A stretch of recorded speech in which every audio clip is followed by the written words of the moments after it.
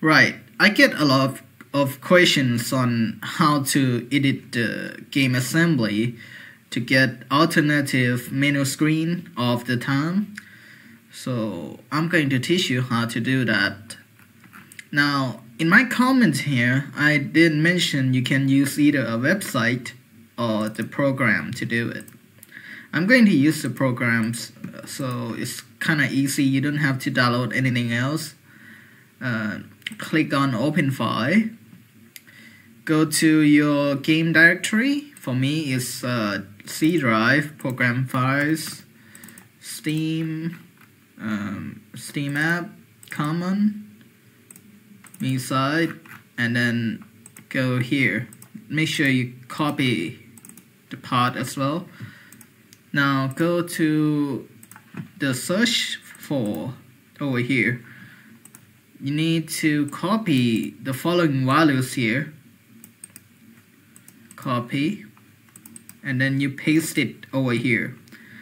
Uh, uncheck the text and rational.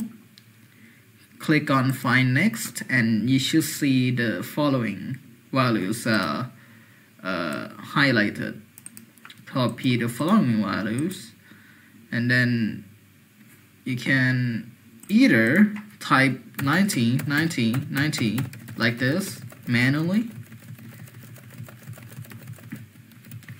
Or maybe you could like right click on here insert the byte.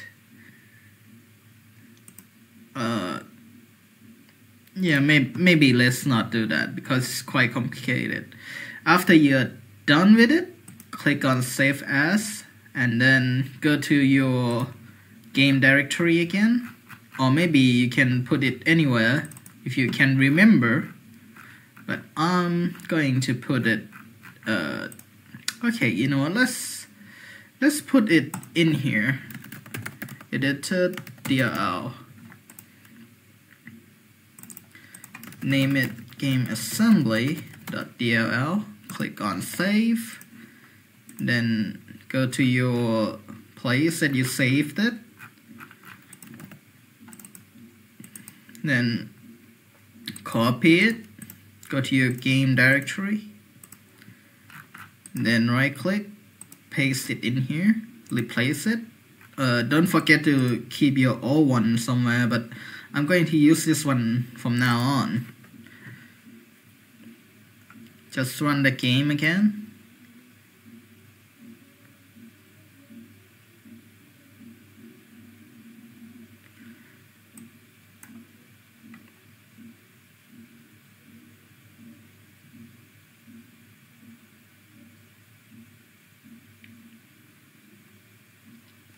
Now, if you want to somehow restore your edit uh, edited DLL into normal, you can reverse all the 90 into that value, but I guess you have to type that by your own.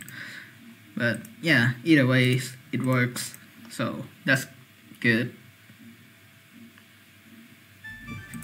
Let's skip the intro. I have mods installed so it take quite a while. There you go as you can see. It's actually working now. There you go